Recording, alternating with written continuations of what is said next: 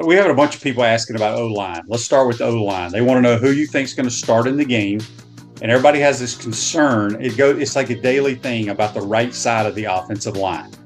Can you touch on that? Who you think is going to start, and are you concerned about the right side?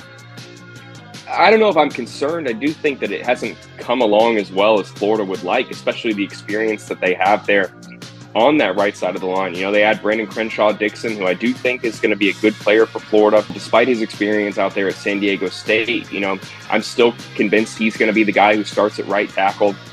Right guard, Damieon George, you know, he made the move from right tackle last year. That's a move that he wanted to make in, in what he thought was his best interest to not only continue playing a, a role for Florida, but also he felt that he could, you know, handle the little bit of a, a drop off in speed along the interior from some of those bigger guys at right guard.